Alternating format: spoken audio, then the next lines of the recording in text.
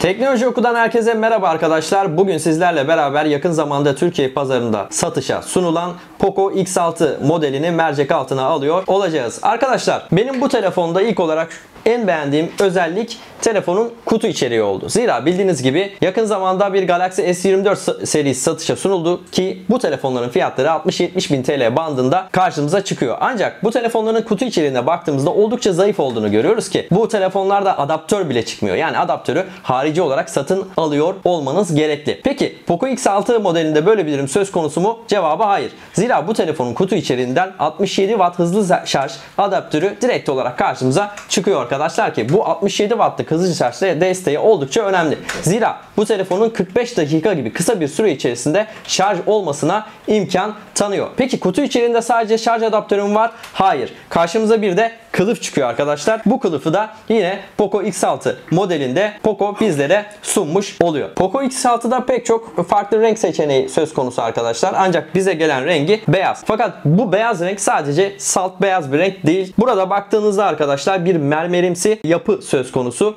ve farklı sim oynamaları söz konusu. Bu da telefonun beyaz renginin bile oldukça şık görünmesini sağlıyor. Ayrıca telefonun arka kamera adacıkları da telefonun şık görünmesini sağlayan bir başka nokta arkadaşlar. Bu telefonu göz attığımızda hemen üst kısımda bir de jack girişi söz konusu olduğunu görüyoruz ki bu da telefonun geleneksel çizgisinden kaymadığının bir göstergesi niteliğinde. Gelelim telefonun yavaş yavaş özelliklerine. Telefonda yer alan ekran 6.67 inç boyutunda AMOLED bir ekran paneli arkadaşlar. Bu ekran paneliyle beraber 120 Hz'lik tazeleme oranı sunuyor telefon bizlere. Bu da bizlere oldukça akışkan bir deneyim vaat ediyor arkadaşlar. Bu ekranın çözünürlüğü ise Full HD Plus. Ayrıca ekranın Corning Gorilla Glass Victus'la beraber korunduğunu da belirtelim ki bu da düşmelere, çarpmalara karşı ekranın fazlasıyla korumacı olduğu anlamına geliyor. Ben bu telefonu kullanırken bir iki defa açık konuşmak gerekirse yere düşürdüm. Ancak ekranında herhangi bir çatlama ya da herhangi bir iz meydana gelmedi. Bu da telefonun ekranının ne kadar kaliteli, ne kadar korumacı olduğunu bizlere net bir şekilde gösteriyor aslında. Gelelim telefonun bataryasına. Batarya kısmında arkadaşlar bizleri 5100 mAh'lik bir pil karşılıyor ki bu pilin zaten 67 Watt'lık hızlı şarj desteğine sahip olduğunu da demin ifade etmiştik. Ben çok fazla video izleyen, çok fazla oyun oynayan biri olarak bu telefonla beraber bir buçuk günü rahatlıkla gördüm. Bu da pilin oldukça bizleri rahat bir şekilde götürdüğünü söyleyebilir. Eğer siz telefonla çok fazla haşır neşir olmayan biriyseniz bu telefon sizleri de 2 gün rahatlıkla götürür diyebiliriz. Ayrıca telefon mesela çok az bir şarjla beraber yattınız. %20 ile beraber sabah kalktınız.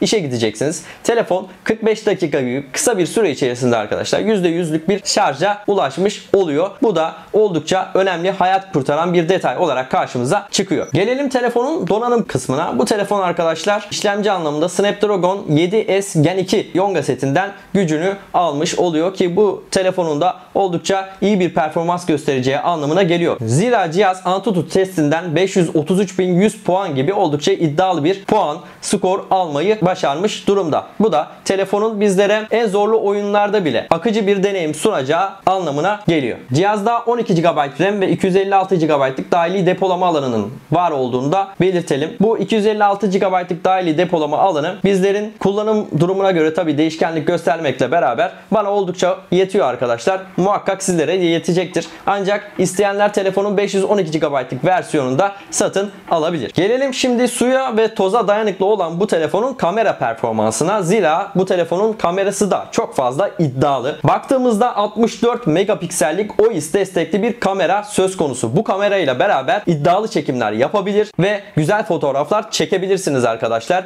Eğer ben kamera kullanmayı seviyorum, fotoğraf çekmeyi seviyorum derseniz Poco X6 burada sizin için biçilmiş kaftan niteliğinde olacaktır. Selfie noktasında çok iddialı fotoğraflar çektiğini söyleyemeyiz. Özellikle düşük ışıkta düşük performans gösteriyor bu telefonun kamerası. Ancak iyi ışıklarda Poco X6'nın da oldukça iyi görüntüler yakaladığını net bir şekilde söyleyebiliriz. Burada zaten bunları söylediğim dakikalarda da bu telefonla beraber çekmiş olduğumuz fotoğrafları görüyor olacaksınızdır.